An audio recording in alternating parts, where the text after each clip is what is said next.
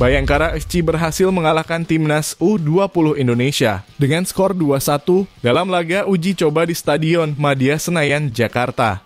Sabtu 13 Januari 2024. Raja Nainggolan tampil cukup baik menyumbang asis juga memberi instruksi buat rekan-rekannya. Raja Nainggolan tidak tampil dari menit pertama. Pelatih Bayangkara Mario Gomez awalnya menurunkan skuad pelapis pada laga dengan format 3 kali 40 menit itu. Dengan materi pemain tersebut, Bayangkara pun tertinggal 0-1 melalui gol sundulan Kadek Arel. Namun mulai babak kedua, Raja Nainggolan dan beberapa pemain asing Bayangkara mulai berpartisipasi. Perlahan kendali permainan beralih ke kubu The Guardians dengan Raja dan Matias Mier memegang peranan penting. Matias Mier memborong dua gol kemenangan Bayangkara, sementara Raja Nainggolan memberi satu asis. Pemain Belgia itu memberi umpan matang untuk gol kedua Mier. Tak cuma menyumbang asis, Raja Nainggolan sangat aktif dalam permainan. Ia terlihat kerap memberi instruksi kepada para pemain Bayangkara sepanjang laga. Selama di lapangan, dia beberapa kali terlihat berkomunikasi dengan rekan setim, mengatur pergerakan saat bertahan maupun menyerang.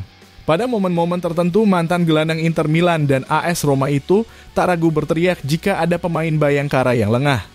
Bahkan, pada saat jeda turun minum, Raja Nainggolan tampak ikut memaparkan strategi tim kepada rekan-rekannya. Peran Raja ini dinilai positif oleh skuad Bayangkara, terutama para pemain muda. David Maulana misalnya mengaku memetik banyak pelajaran dari mantan bintang timnas Belgia itu. Raja kan memang pemain yang luar biasa, ya. Jadi setiap masukan dia pasti menjadi ilmu buat kami, pemain-pemain lokal. Kata gelandang 21 tahun itu usai laga melawan timnas U20 Indonesia. Dia biasanya memberitahu posisi harus gerak ke mana, passing ke mana, seperti itu. Tambah David Maulana.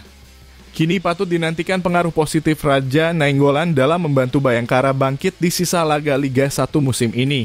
The Guardians untuk sementara masih terpuruk sebagai juru kunci, terpaut 10 poin dari zona aman.